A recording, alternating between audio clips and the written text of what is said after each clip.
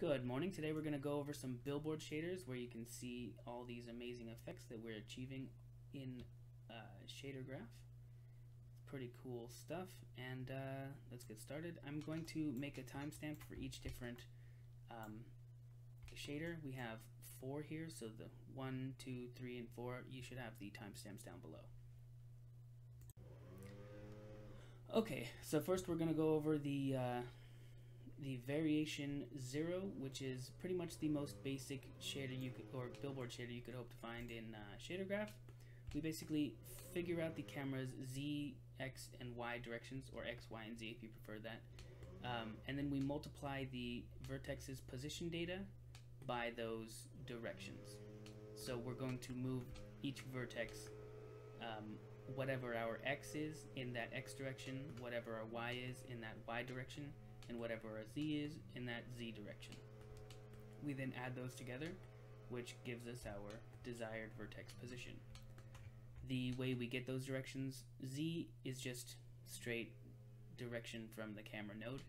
We take the cross product with the global up and the cameras forward to get the x, x direction, which is left and right. We then take the cross product with the z and x direction to get the camera's y.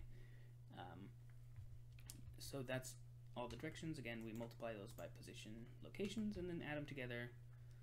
Bob's your uncle, as some might say. Um, we get this, as you can see, even though the the object is clearly not moving, we, have our uh, x, y, and x, y, and z directions. Those don't move, but the object does appear to rotate towards the camera, which is great. It's far more performant than doing this in uh, on the processor. And to prove it again, here's X, Y, and Z. Doop, doop, doop. Even though the thing appears to be rotating, it does not rotate on the uh, transform. So it's, it's good. If you're doing a lot of these all at once, you're going to want to do it in your uh, graphics card because your graphics card is already doing basically these same types of things so you're, you're pretty much not losing any performance. Okay, so now that we've gone over that, there's also a problem with this variation 0, which is that all of the all of the objects here, they have the same rotation, which is cool for certain things. It's, it's nice and performant, which is good for anything that's 2D. If you just need this to stick to this, the screen of a computer, um, then yeah, it makes sense. The problem is in VR, you can actually tell that these are, they're basically just pointing to the nearest point on the camera's plane. That's the best way I can explain it. If you're not dealing with VR, you can basically just skip uh, ahead and um, and it won't be a, a problem. But if you are doing VR, this can be a little bit annoying and disconcerting. So what we want instead is this variation 1, which I'll go over right now.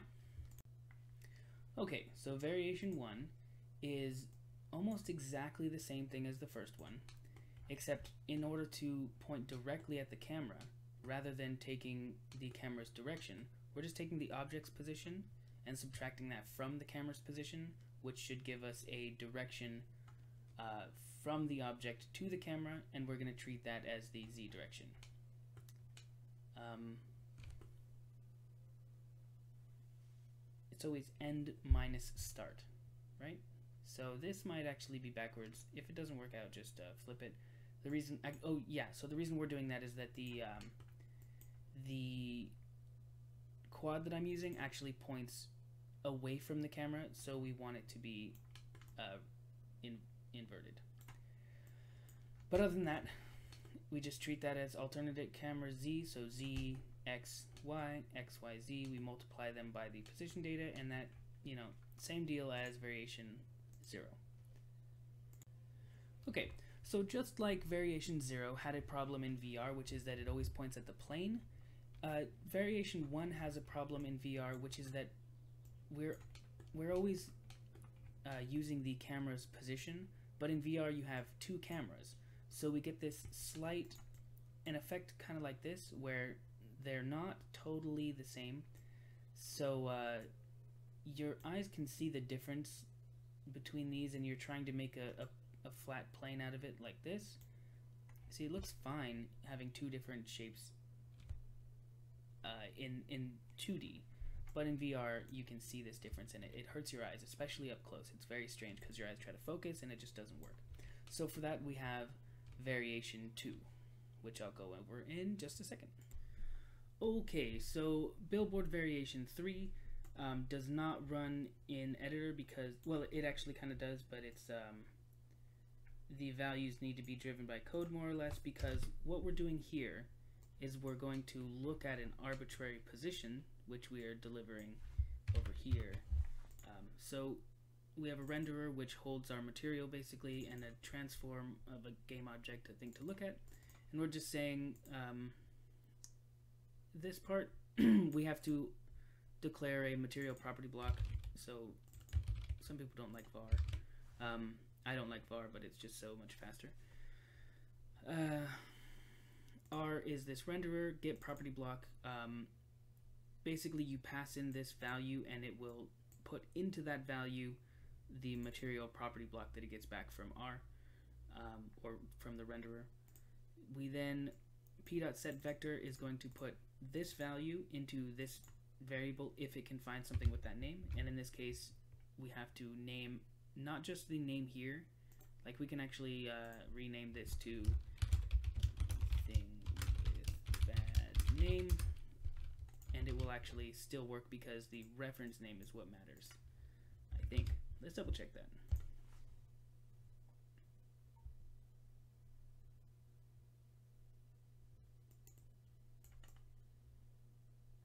Oh, we've actually done it backwards. But that's only backwards for the quad because quads point in the uh, negative z direction. Alright, so let's do it again.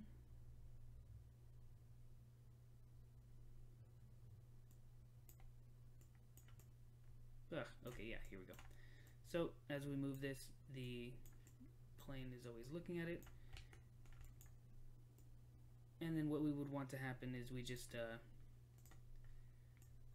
instead of putting sphere to look at, we would put our camera, um, which we can actually see over here. Let's just do it. Two, thing to look at, camera, um,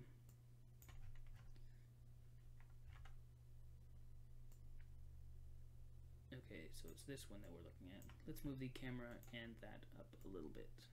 Okay.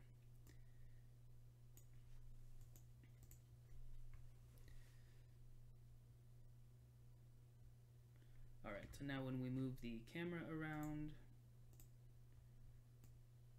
it's always looking at the camera. Well, everything's always looking at the camera. It's kind of hard to see what we're even talking about, but it's this one.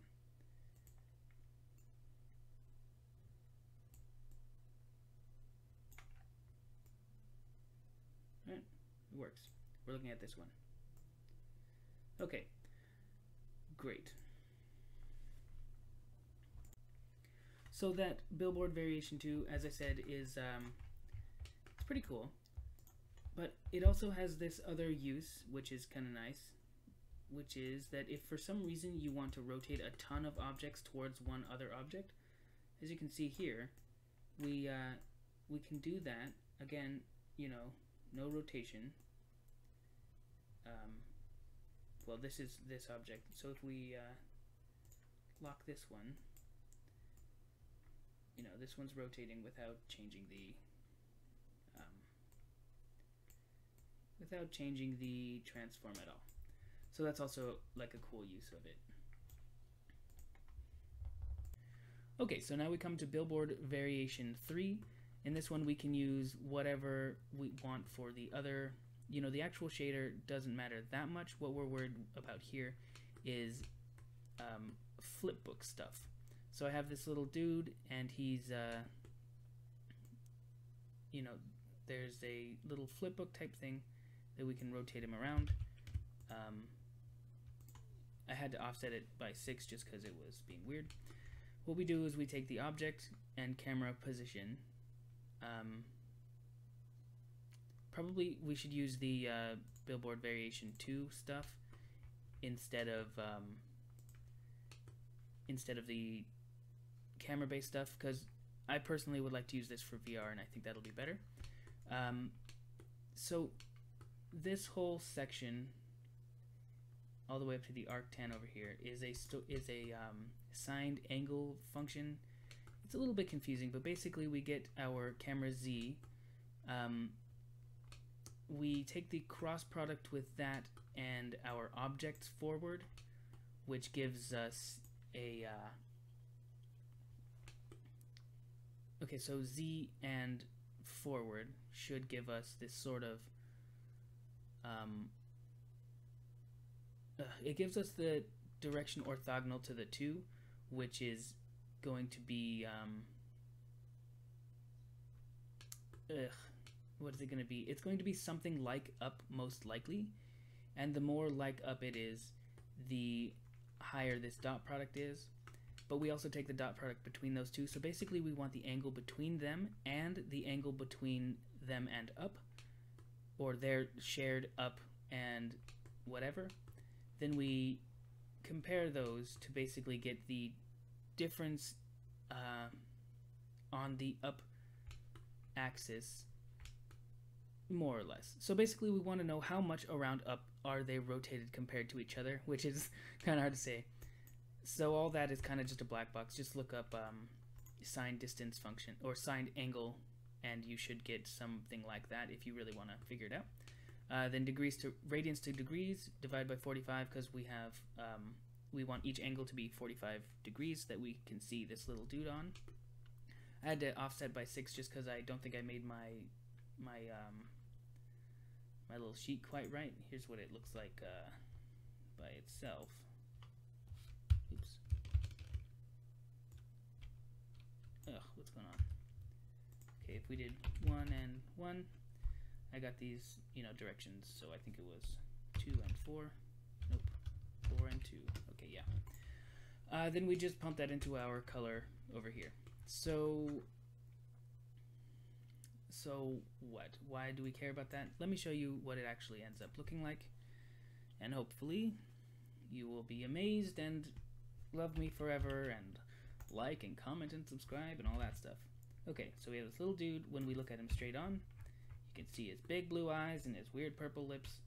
And then when we go to the side, uh, you know, we can rotate around him. Isn't that spectacular?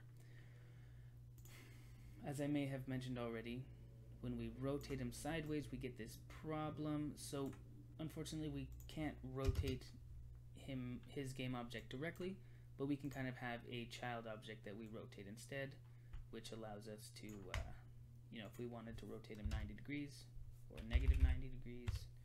There's probably also some fun you could do by making it, uh, if you want fewer flipbooks or whatever, you could probably do some fancy math and uh, flip it back and forth and then just use four of them or something.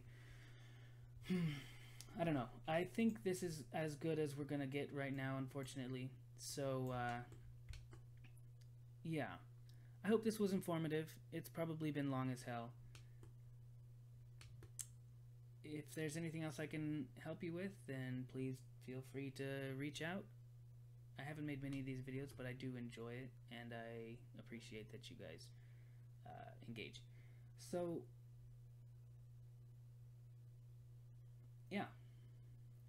You don't have to like and subscribe, but comments would be interesting. Have a nice day.